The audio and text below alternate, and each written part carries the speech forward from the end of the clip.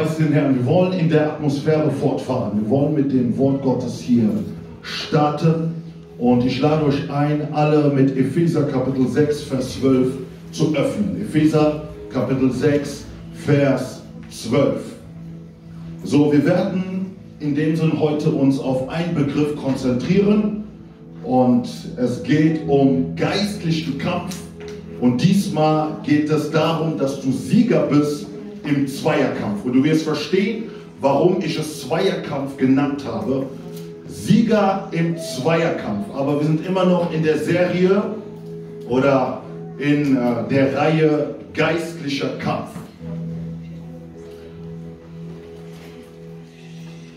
So, die Bibel sagt hier, denn unser Kampf richtet sich nicht gegen Fleisch und Blut, sondern gegen die Herrschaften, gegen die Gewalten, gegen die Weltherrscher der Finsternis dieser Weltzeit, gegen die geistlichen Mächte der Bosheit in den himmlischen Regionen.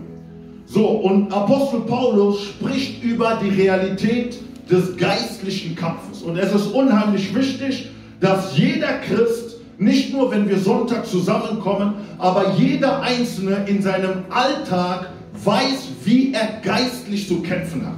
Eines der Dinge, die die Gemeinde schwach macht, ist, dass man am Sonntag guten Input oder erfüllt wird, aber die Realität des geistlichen Kampfes nicht effektiv ist. Und was das Anliegen von Paulus ist, dass jeder einzelne Christ wirklich effektiv in der geistlichen Kampfführung ist.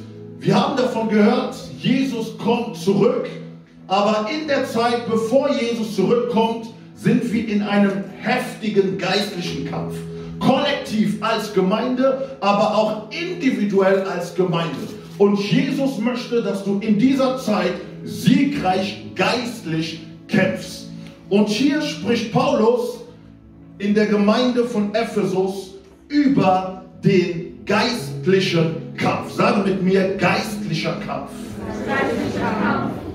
So, es ist interessant, das Wort, was Paulus hier gebraucht. Und wir wissen, als Paulus anfängt, über die Waffenrüstung zu sprechen, spricht er oder nimmt er das Bild von römischen Soldaten. Das bedeutet auch das Bild, wenn er von Kampf spricht, hat auch mit diesen Kämpfen zu tun, die man auch ein Stück weit in der Antike ausgeführt hatten. Das heißt, die Leser der damaligen Zeit wussten ganz genau, was Paulus meint aber wir müssen in dem Sinne noch ein bisschen mehr verstehen, was Paulus damit meint. Das Wort Kampf, was hier gebraucht wird, in dem Griechischen bedeutet ein Zweierkampf. Wir wissen, wenn es, ein, wenn es zwei Lager gibt, die kommen und miteinander kämpfen, so ist es, dass zwei, zwei Lager gegeneinander Konfrontation haben dass die zwei Lager gegeneinander Konfrontation haben, aber letztlich, wenn die zwei Lager zusammenkommen, konzentriert sich der Gegner meistens immer auf eine Person. Das heißt, zwei Lager sind hier gerichtet, obwohl es 10.000 und 10.000 gegeneinander kämpfen, gibt es einen, der einen Blick hat und sagt, ich möchte ganz genau diese Person erreichen, diese Person umbringen. Dann wird dieser heftige Kampf, der eigentlich in zwei, in zwei äh, großen Lagern ist, wird es auf einmal zu einem Zweierkampf. Zwei Personen konfrontieren sich. Und das ist das, was Paulus hier sagt. Er sagt, den Kampf, den wir haben, allgemein ist es natürlich gegen verschiedene Mächte, aber in erster Linie ist es ein Zweierkampf.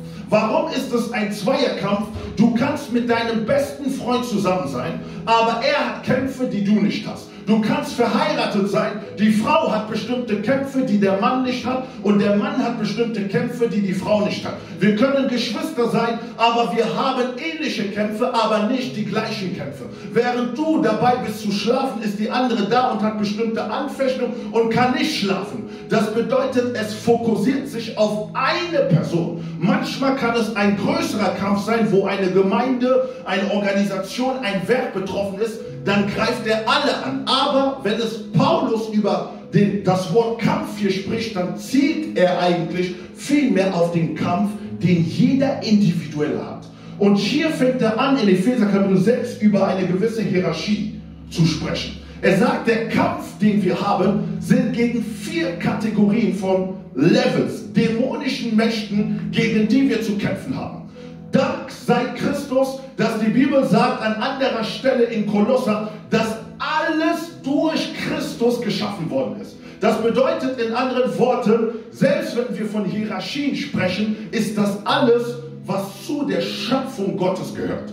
Also Christus hat jedes Geschöpf geschaffen. Jeder Dämon, egal was für ein Level es ist, egal wie groß es ist, egal wie groß deine Kämpfe sind, wir müssen immer im Bewusstsein haben, sie sind einfach nur rebellische Geister gewesen, aber unter der Schöpfungsordnung von Christus. Das erste, worüber er spricht, und es wird das einzige sein, worüber wir uns heute beschäftigen werden, er spricht über, das, über den ersten Kampf oder die erste Kategorie und das ist auch die höchste Kategorie. Und er sagt, euer Kampf richtet sich nicht gegen Fleisch und Blut, sondern gegen Herrschaften. So, was bedeutet dieses Wort Herrschaften? Es kommt vom griechischen Wort Asher und es bedeutet der Erste oder der Oberste. In anderen Worten, möchte Paulus sagen, in der Kategorie von diesen dämonischen Einflüssen ist der mit dem Namen Herrschaften der Leiter, der Führer oder der Oberste. Okay? Für Leute, die in dem schon mal bei Befreiungen teilgenommen haben oder es sehen, man kann bestimmte Geister austreiben, aber es gibt manchmal einen sehr hartnäckigen Geist und der ist wie eine Festung.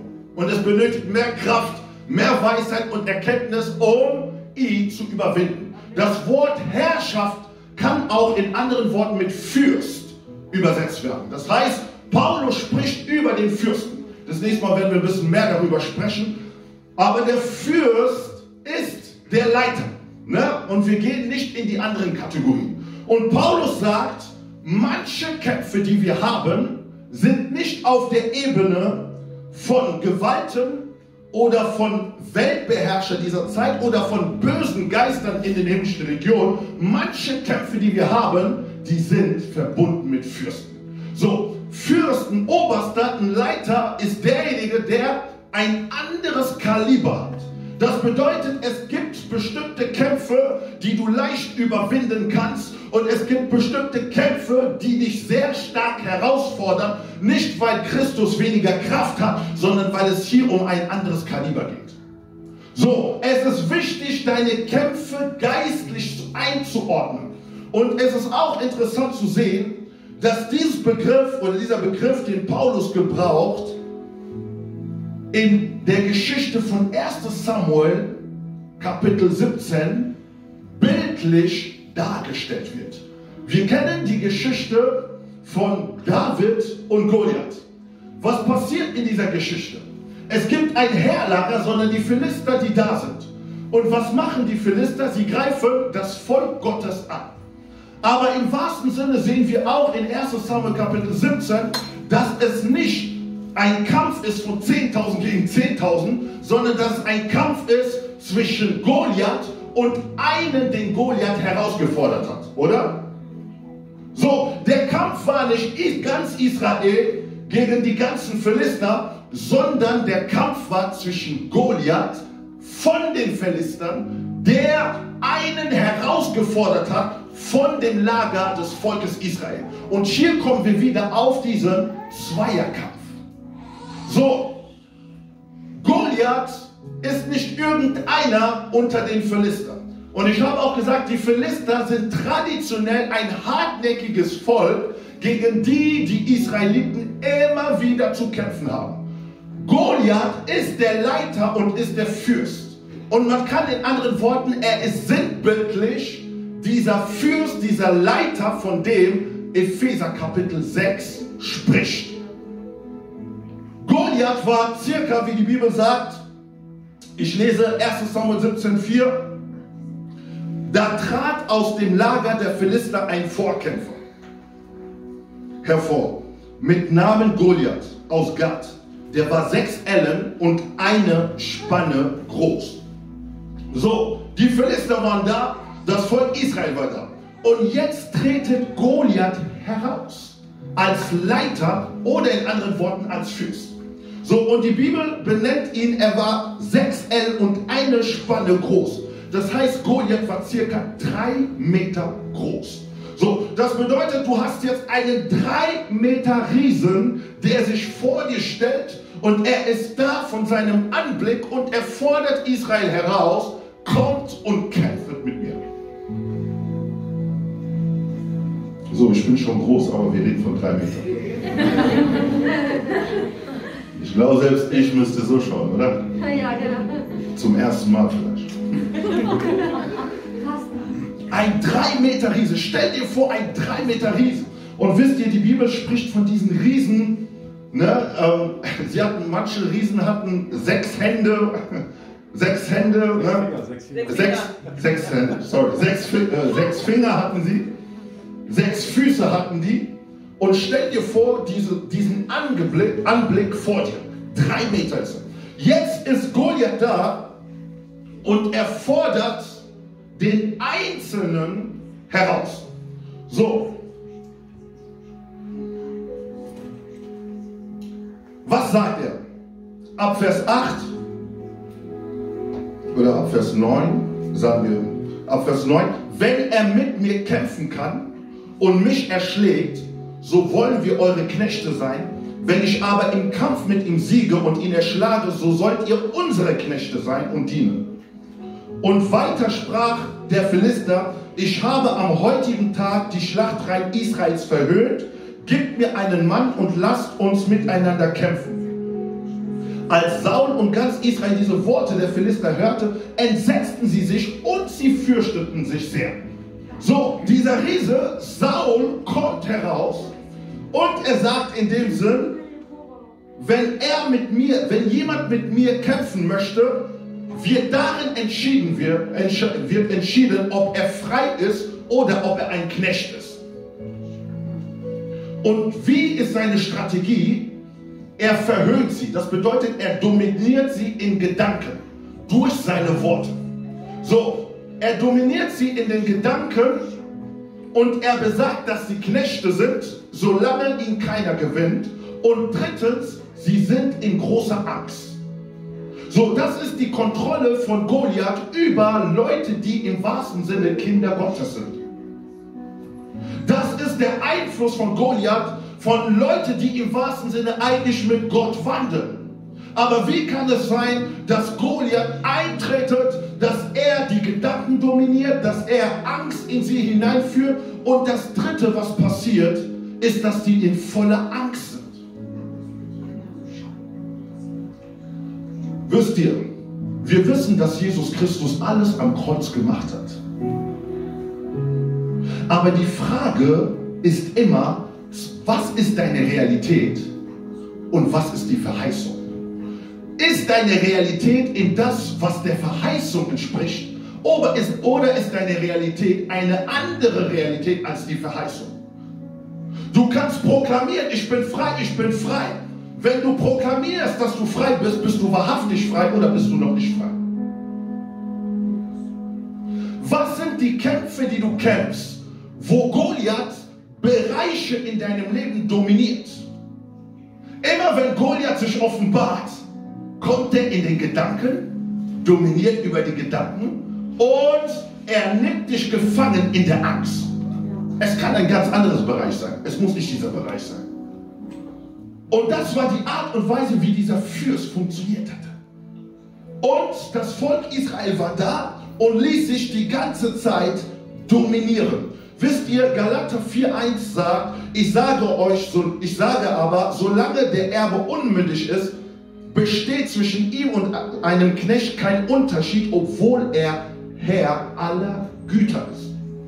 So, es besteht zwischen dem, der das Erbe hat, der du als Christ bist, und einem Knecht kein Unterschied, wenn du unmündig bist. Unmündig bedeutet, wenn du im wahrsten Sinne noch Kind bist oder nicht die gewisse Reife im Geist hast, dann kannst du nicht Herr deiner Güter sein. Dann kannst du nicht die Dinge ausleben, die du eigentlich ausleben solltest.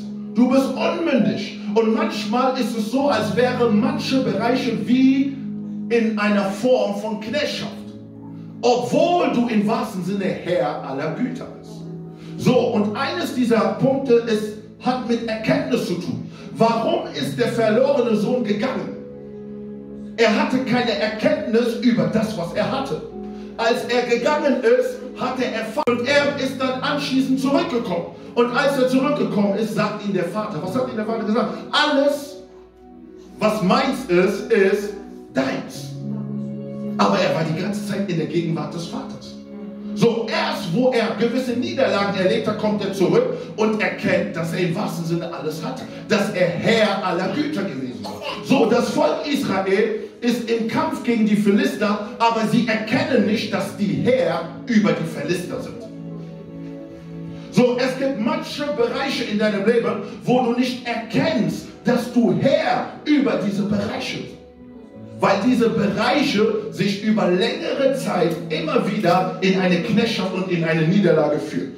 Wisst ihr, wenn man die Geschichte weiterschaut, in Vers 16 heißt es, der Philister aber kam morgens, abends her und stellte sich 40 Tage lang hin. Das ist die Art und Weise, wie Goliath funktionierte. Er kam nicht nur, um sie zu verhöhnen, sondern er tat es 40 Tage lang. Und 40 Tage lang kam er wann?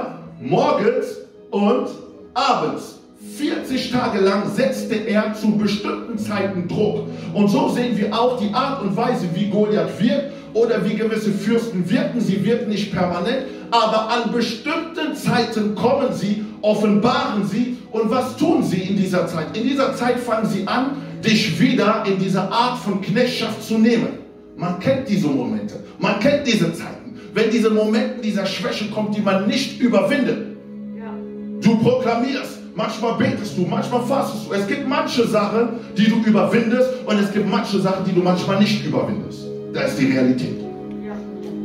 So, aber dieser kam morgens und abends. Interessant ist, wenn wir Vers 20 lesen, was macht David? David, die Bibel sagt, da machte sich David am Morgen früh auf und überließ die Schafe einem Hüter. Und er nahm die Geschenke und ging hin, wie Isai ihm geboten hatte, und er kam zum Wagenburg, als das Heer gerade ausgezogen war, um sich in der Schlachtreihe aufzustellen und sie das Kriegsgeschrei erhoben hatte. David hatte nichts mit der Situation zu tun. Aber David war ein Mann, der mit Gott wandelte. Es war ein Mann, der eine intime, eine starke Beziehung mit dem Herrn hatte. Er war nicht in diesem Geschehen. Aber was macht David? David kam morgens. Und wann manifestierte sich äh, Goliath? Morgens und abends. Ich weiß nicht, wie sehr bewusst er morgens hingegangen ist. Ich glaube, dass es einfach von dem Herrn geführt worden ist. Er kam morgens zu dem Moment, als sich Goliath offenbarte. Und jetzt, wo sich Goliath offenbart hat, kommt David. Und was passiert? Wiederholung. Während er noch mit ihm redete, siehe, da kam, Vers 23, da redete sie, da kam der Vorkämpfer mit Goliath, der Philister aus Gad, aus den Schlachtreihen der Philister herauf und redete wie zuvor, so dass David es hörte. Aber alle Männer von Israel flohen vor dem Mann, sobald sie ihn sahen und fürchteten sich sehr.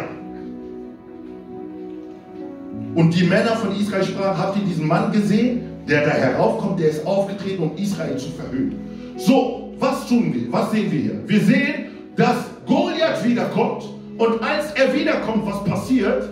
Eine Wiederholung. Wieder kommt er mit der Verhöhnung. Sie haben Gedanken, er dominiert sie und sie haben Angst. Und was wollen sie tun? Sie fliehen. Sie können Goliath nicht konfrontieren. Zum Unterschied ist es, David ist jetzt präsent. Ein Mann, der mit Gott wandelte. So, der nicht allwissend ist, aber der bestimmte Erkenntnisse in seiner Beziehung mit Gott hatte. Er kam an diesen Ort und die Bibel sagt, als er hörte, geschah etwas in ihm. Hm. So, sie hatten alle Ohren, sie hatten den gleichen Kampf. Aber als David hörte, geschah etwas in ihm. Er konnte nicht erlauben, dass diese Worte oder dass diese Domination in dem Sinn so weitergeführt wird. Warum konnte David in dem Sinn hier eine andere Einstellung bringen? Es hat nichts damit zu tun, dass er geistlicher ist oder dass er in dem Sinn mehr weiß, Aber das, was wir über David wissen, als er diese Situation sah, berief er sich auf seine Erfahrung mit Gott. Was sagte er? Ich weiß, was Gott in dem Sinn mit mir erlebt hat oder was ich erlebt habe, weil ich gesehen habe, wie in dem Sinn Löwen und Bären gekommen sind und in dem Sinn meine Schafe angegriffen haben. Und als sie diese Schafe angegriffen haben, habe ich sie zerrissen. Ich habe sie überwunden. Und der gleiche Herr, der mit mir an diesem Ort gewesen ist, ist der gleiche Herr, der mit mir hier ist. Das bedeutet, David konnte einmal sein. Mutig warum? Nicht nur einfach blindmutig zu sein, sondern mutig aufgrund der Erfahrung, die er mit Gott hat. Dennoch, der Kampf, den, den Kampf, den er hatte mit den Bären und Löwen, sind andere Kämpfe. Hier geht es um einen Goliath. Das bedeutet, der Kampf ist nicht gleich, er ist anders, aber er kann sich auf etwas berufen, was er schon mal überwunden hat. Das bedeutet, es ist wichtig, sich auf die Dinge zu berufen, die du schon mit Gott erlebt hast. Das zweite, was wir hier sehen, er hat die Erkenntnis. Er weiß, wie er diesen Kampf mit Goliath führen will. Es ist nicht nur Mut, ich komme, Goliath, komm und ich werde jetzt diesen Kampf mit dir aufnehmen, sondern er hat eine gewisse Erkenntnis gehabt in diesem Moment. Deswegen können wir Mut haben, wir können Kraft haben, wir können Autorität haben, aber wenn wir nicht Erkenntnis haben, können wir manchmal Goliath nicht mehr überwinden. So, es benötigte einen David. Und David war da und er hatte diese Erkenntnis. Erkenntnis ist stückweise. Weil sie stückweise ist, hat dennoch David das Privileg, etwas zu erkennen, etwas zu wissen, wie er Goliath überwinden kann gegenüber anderen. So, das bedeutet, in diesem Moment benötigt es Demut. Aber die anderen waren voller Hochmut und sie wollten nicht anerkennen, was in David war oder was David gebracht hatte. Eines der Dinge, die dir helfen werden, Goliath zu überwinden, ist, wenn die Präsenz Davids in deinem Leben ist. Wenn Menschen da sind, die dir helfen können, Erkenntnis zu haben über bestimmte Dinge, wo du keine Erkenntnis hast. Und was ist passiert? Um die Geschichte zu verkürzen, sehen wir, dass David in dem Sinn, wie hat der David, wie hat er den Goliath überwunden? Ein drei Meter Riesen, die Bibel lässt verstehen, er sprach zu ihm, du kommst mit Schwert Ne? Und du kommst mit Speer, mit Wurfspieß, aber ich komme mit dem Namen des Herrn, der Herrscherin, des Gottes, der Schlachtrein Israel, die du verhöhnt hast. Er verspürte das, was Gott verspürte. So, er, er hatte innerlich diesen geistlichen Zorn und sagte, hier werde ich einen Schlussstrich setzen. Und schaut, was er gebraucht. Er gebraucht einen Stein, der in dem Sinn auf seine Stirn kommt und glaubt mir, ein kleiner Stein, der einfach nur auf einen 3 Meter Riesen kommt, meinst du, dass es das der, der Weg gewesen ist? Aber ich glaube, es war die Gegenwart Gottes. Es war die Salbung Gottes, die diesen Goliath überwunden hat. Es ist kein Stein. Aber die Methode, die er gebraucht hatte, ist eine Methode, worin ich glaube, dass Gott ihn so geführt hat. Und in diesem Moment war es der Schlüssel, um diesen Goliath zu überwinden. Und was sagt die Bibel? Er tötete den Goliath. Goliath war umgebracht. Halleluja. Er wurde überwunden aufgrund der Erkenntnis, aufgrund der Erfahrung von jemand, der mit Gott wandelte. Und hier wurde dieser Fürst, dieser drei Meter Riese, wurde überwunden. Manchmal müssen wir uns mit Menschen zusammentun, die uns helfen, unsere Fürste zu überwinden. Du hast zu lange gekämpft, aber wir benötigen den Bruder, den Schwester. Wir benötigen uns einander, damit Fürste überwunden werden, weil sie nicht einfach sind. Aber wenn wir die Erkenntnis haben, dann reicht nur ein Stein, dann braucht ein Stein, um zu tun. In der Vergangenheit hast du zu viele Steine geworfen. Und das war ineffektiv. So, hier ist Goliath überwunden worden. Und was ich interessant gefunden habe in der Geschichte, die Geschichte hört eigentlich hier nicht auf. Aber eigentlich heißt es hier, er brachte ihn um. Goliath war umgebracht. So, und das ist es, wenn wir in dem Sinn Fürsten oder Siege in der geistlichen Welt haben, dann haben wir den Goliath überwunden, dann ist für eine Zeit Ruhe. Ihr kennt das? Für eine Zeit ist Ruhe. Nur für eine Zeit. So, und wenn wir 2 Samuel 21 öffnen, so kommen wir in den zweiten Part und sehen auf einmal die, die Philister, die wiederkommen und wiederkämpfen. So, Die Bibel sagt hier, es erhob sich aber wieder ein Krieg der Philister gegen Israel. Und David zog hinab und seine Knechte mit ihm. Und sie kämpften gegen die Philister. David aber wurde müde. So, ich, Bi, Benob, oh, die Namen. Aber einer der Söhne des Rapha, der eine Lanze, der eine Lanze im Gewicht von 300 Schekel Erz hatte und mit einem neuen Schwert umgürtet war, der sagte, er wollte David erschlagen. Und Abisai, der Sohn des, der Zeruja, half David und schlug den Philister tot. So, das ist so eine ganz konträre Geschichte. 1. Samuel Kapitel 17, wir sehen David stark mit dem Herrn, wandelt mit dem Herrn und er ist derjenige, der den Schlüssel hat, um Goliath zu überwinden. Aber hier sehen wir nach einer gewissen Zeit, irgendwann mal sagt die Bibel, David ist müde geworden. Es ist egal, wie gesalbt du bist. Es ist egal, wie viel du erlebt hast. Jeder kennt diese Momente, wo er müde wird. Und was passiert jetzt, wo er müde ist? Ist wieder kommen die Philister. In den Momenten, wo er müde ist, die Philister kommen. Sie warten auf Momente, wo du müde wirst, wo du entmutigt bist, wo du nicht mehr kannst. Und in diesen Momenten denken sie, okay, wir haben den Kampf zwar verloren, aber es ist eine Möglichkeit, sich wieder ein bisschen groß oder breit zu machen.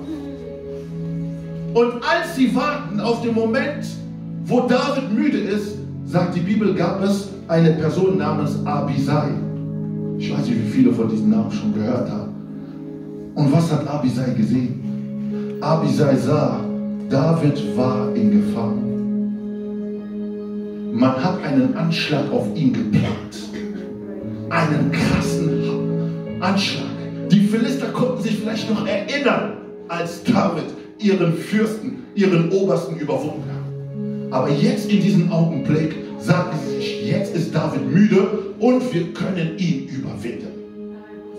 Und als man David erschlagen wollte, gab es Abisai, der es gesehen hatte und der eingetreten hatte und der den Philister überwunden hat. Heute bist du stark, morgen kannst du schwach sein. Aber dass einer schwach ist, benötigt einen Bruder wiederum, eine Schwester, den Abisai, der Dinge sehen kann, der Dinge, der für dich beten kann, der eine Liebe für dich hat und der erkennen kann, hey, hier ist eine Gefahr. Das ist nicht die Art und Weise, wie ich ihn kenne. Oder wir merken, er hat einen Moment der Schwäche. Es ist nicht, weil er ungeistlich ist, aber weil er vielleicht irgendwelche Situationen hinter sich hat. Aber weil Abisai da ist, bewahrst du David vor einem weiteren Anschlag des Feindes, was ihm teuer zu kosten kann.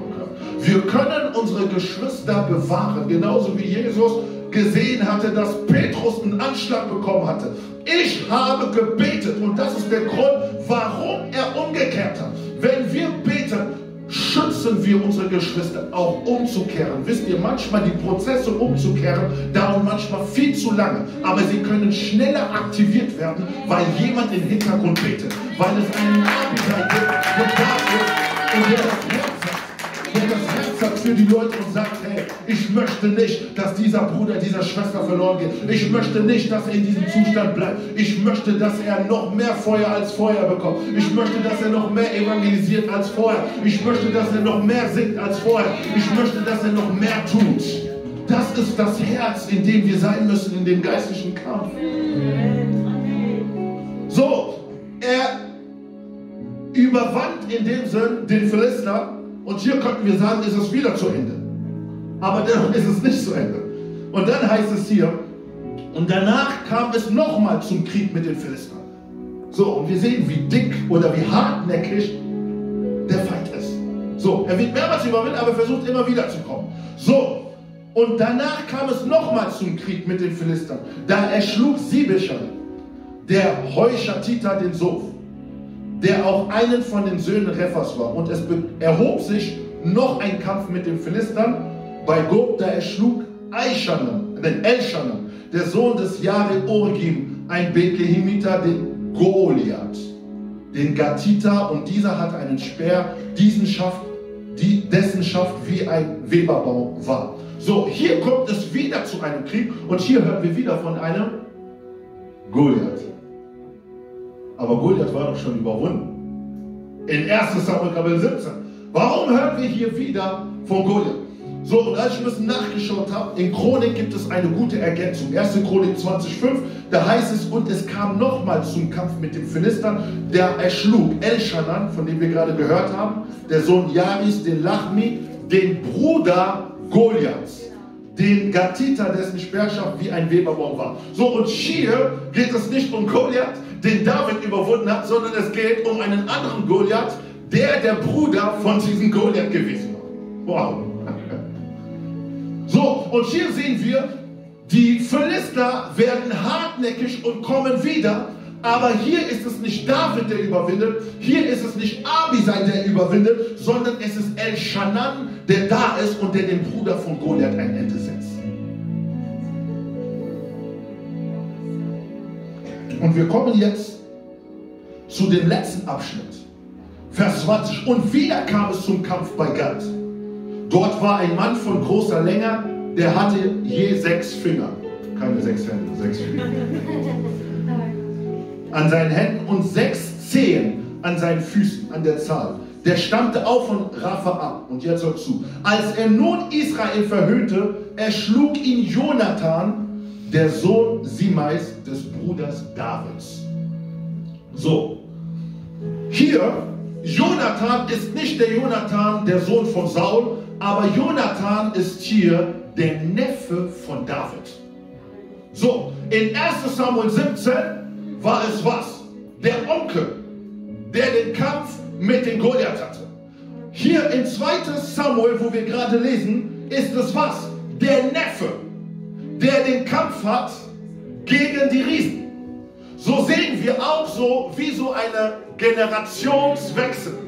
Wir sehen, er hat zwar Goliath überwunden, aber er hat seinen Neffen vorbereitet, die Riesen zu erschlagen. Eines der Dinge, die wichtig sind, dass wir Generationen immer vorbereiten. Du hast bestimmte Kämpfe gehabt, du hast sie überwunden, aber glaub mir, die Philister sind so hartnäckig, dass sie zurückkommen, um deine Kinder anzugreifen. Und wenn sie kommen, um deine Kinder anzugreifen, ist es deine Aufgabe, deine Kinder zu trainieren und vorzubereiten, dass sie geistlich stark genug sind. Und wenn diese Leute von sechs äh, Zehen kommen, mit sechs Zehen, mit sechs Fingern kommen, diese Riesen wieder kommen, die Philister kommen, dann werden sie durch Jonathan überwunden werden.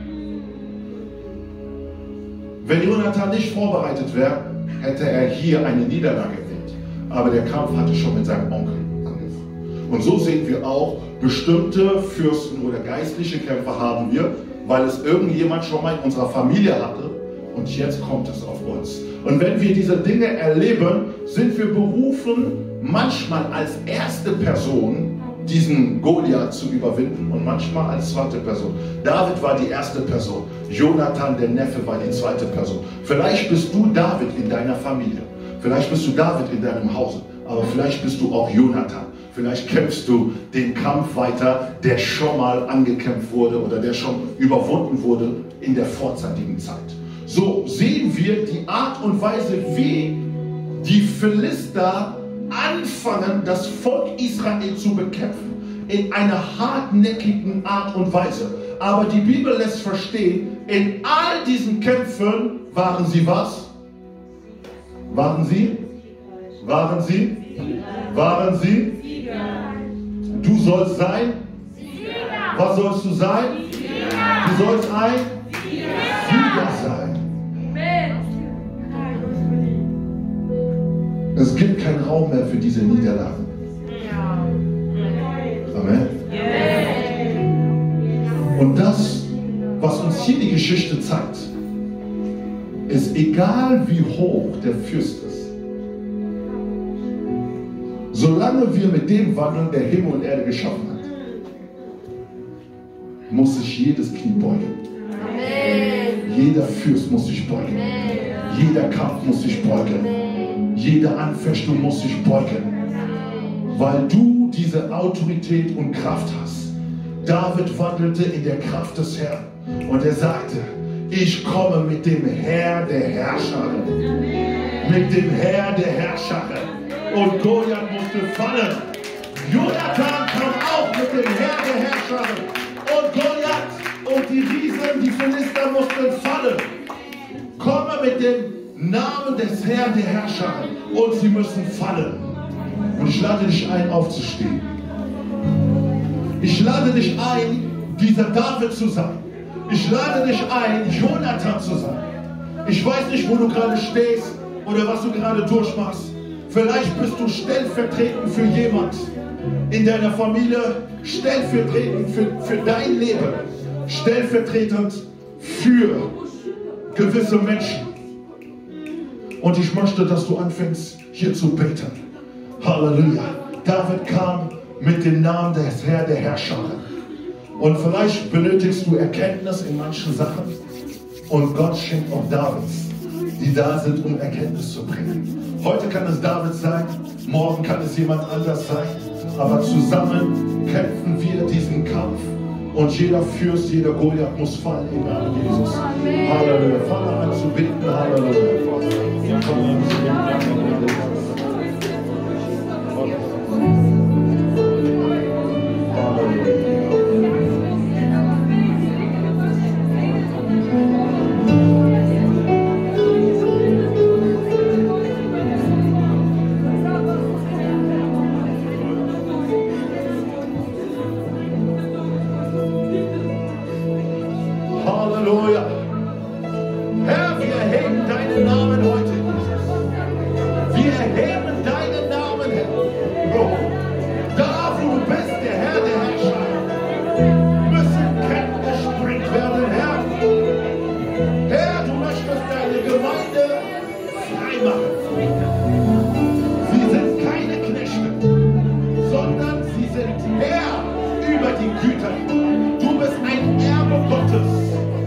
Bist berufen, in diesem Erbe zu wandeln. Steh auf im Gebet. Deine Worte können Dinge jetzt bewirken im Namen Jesus. Der Herr möchte dir Weisheit geben. Der Herr möchte dir Erkenntnis geben. Der Herr möchte dir Strategien geben. Der Herr möchte dir Offenbarung geben. Der Herr möchte dir Siege geben. Neue Siege in deinem Leben. Erkenne die Davids, die in deinem Leben sind.